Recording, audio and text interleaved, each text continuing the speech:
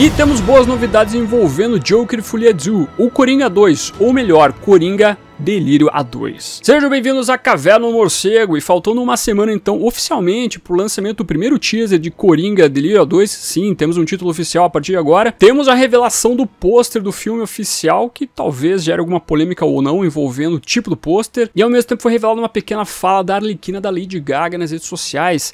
Dá pra gente já ter uma espécie de vibe envolvendo essa Arlequina?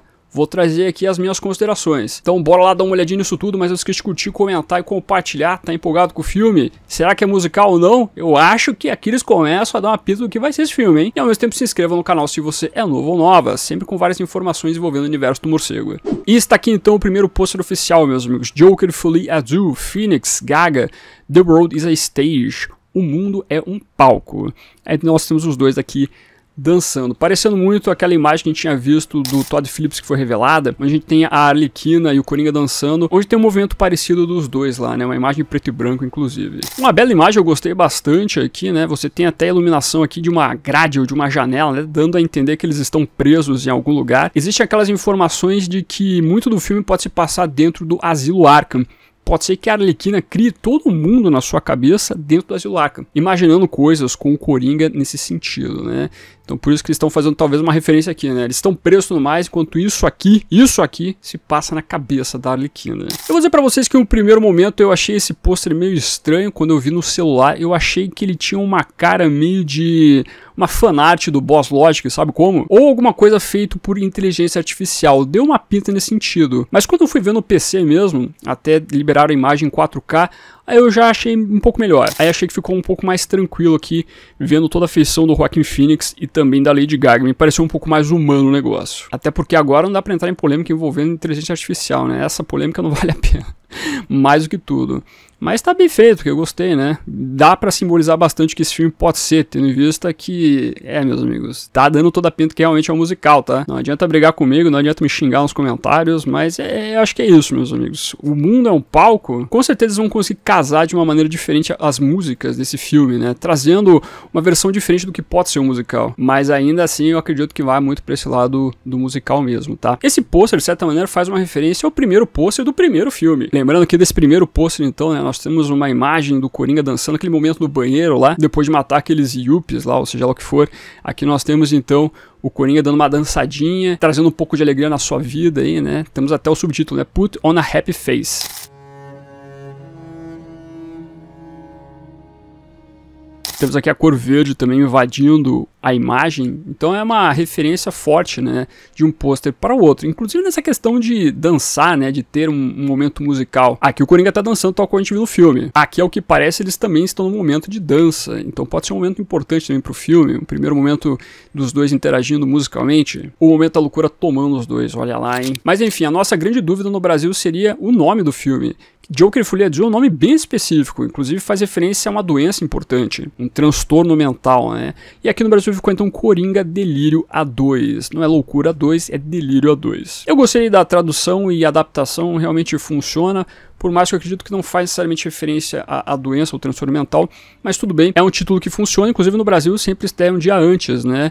Aqui estreia na quinta-feira, então no dia 3 de outubro nós teríamos aí a possibilidade de conferir este filme. Um filme que com certeza será um evento para este ano, um evento musical. Mas não para por aí que em outras redes sociais, no TikTok, por exemplo, tem que acompanhar o TikTok também, meus amigos. Nós tivemos ali o pôster sendo revelado com uma pequena fala da Arlequina da Lady Gaga. É essa fala aqui, ó. Vamos dar o play.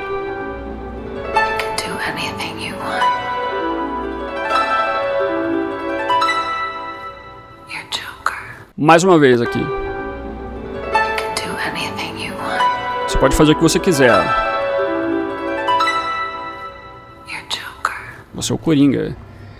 Eu achei muito importante essa, entre aspas, revelação, que com certeza já é um momentinho que envolve o teaser, até tá escrito aqui na conta oficial da Warner envolvendo Coringa. O trailer chega no dia 9 de abril. E você vê aqui, então, um momento sendo tocado com o piano e ao mesmo tempo a Arlequina Lady Gaga falando: você pode fazer o que você quiser, você é o Coringa.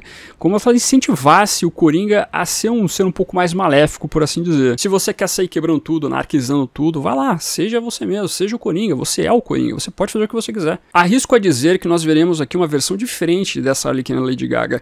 Ela não vai ser a versão que a gente viu, por exemplo, no Animated Series, onde foi criada a personagem, ou em outras versões recentes do quadrinho, mas sim uma versão onde ela é a manipuladora da relação. Me lembrando outra Arlequina, que é a Arlequina da Telltale, que aparece lá na segunda temporada, The Enemy Within, que nós temos a construção do Coringa desde o primeiro jogo, que é o chamado Zé Ninguém, ele não tem nome, não é o Coringa ainda. Ele está num processo de formação e etc. E na segunda temporada, nós acabamos conhecendo então essa personagem, a Arlequina, que é ela que vai ferrando a cabeça do Coringa para tornar ele o maluco, o vilão que a gente conhece. E é muito interessante como eles desenvolvem essa personagem, você fica com muito medo dela, da maneira como ela vai agindo, você tem alguns problemas diretamente com essa figura aí quando você tá controlando o Bruce Wayne, realmente é uma figura que, olha, é tensa pra caramba. E eu tô achando que realmente a, a Lady Gaga vai trazer um pouco dessa Arlequina aqui. Vai ser uma personagem muito mais tenebrosa que o Coringa, eu acredito que ela realmente vai ter um ar que pareça mais o Coringa tal qual dos quadrinhos, que quer realmente anarquizar tudo, quer matar todo mundo e coisa desse sentido.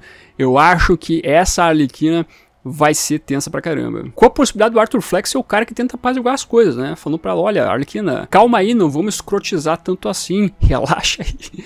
Pode ser que realmente a gente veja a inversão dos papéis tal qual foi em Batman da Telltale. Seria muito bacana se eles seguissem esse caminho o Coringa do Rockin' Phoenix descobrindo que a influência dele foi muito errada, a ponto de criar então essa versão diferente da Harley Quinzel. Inclusive, se você nunca jogou esses jogos da Telltale, vale a pena. São cinco episódios por temporada, são jogos um pouco mais focados na história que necessariamente em jogabilidade. É o famoso jogo Adventure ou Point Click, onde você vai escolhendo ali as decisões dos personagens, por mais que essas decisões não funcionem tanto. A história é meio que é scriptada para acontecer uma única coisa e tá bom. Mas se você está ali para conhecer a história desses personagens, não jogar tanto, por incrível que pareça, ou pela ironia da coisa, vale dar uma conferida. Você deve encontrar baratinho na Steam ou qualquer outro lugar aí. Dessa maneira você vai poder conhecer então essa Arlequina. Antes de continuar, só aqueles dois jabazinhos rápidos. Se você gosta do projeto Caverna do Museu, convido você a ser membro do canal. Ou também, se quiser apoiar de outra maneira, você pode usar os links comissionados que estão na descrição do vídeo. Tem link para Amazon, uns infinitos, loja da Panini, Magazine Luiza, fazendo compra de qualquer tipo de produto, você ajuda pra caramba este projeto. Então, se você for fazer suas compras nessas lojas citadas de qualquer tipo de produto, use nos links que estão aparecendo na sua tela, que dessa maneira você me ajuda a manter esse projeto de Batman ativo. E muito obrigado, os links estão na descrição. Lembrando, você não paga nada mais usando eles. E tal qual destaquei no vídeo que eu postei hoje de manhã aqui no canal na terça-feira, se você não viu, dá uma conferida. Bem como reforcei aqui, nós teremos a divulgação do trailer, o primeiro teaser, na terça-feira que vem, dia 9, por causa da CinemaCon.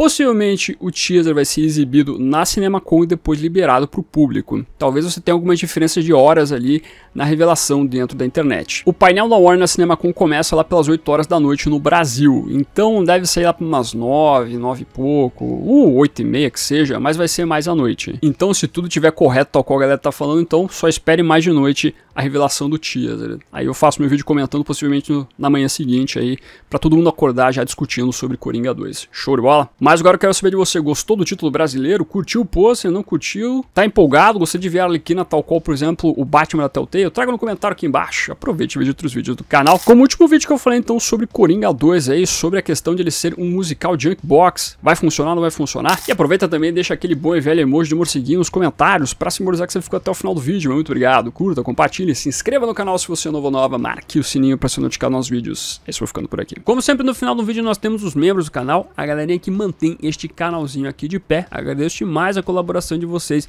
bem como de você que faz suas compras através dos links da Panini, Amazon, Magazine Luiza, Submarino e assim por diante. Meu muito obrigado como sempre, e se você está chegando agora e quiser ajudar o canal, os links estarão na descrição. Aproveita que você tá aí, meu amiguinho, dá uma olhadinha no vídeo que está aparecendo agora. É um vídeo que vale seu clique. Agradeço a sua companhia, até a próxima e fui.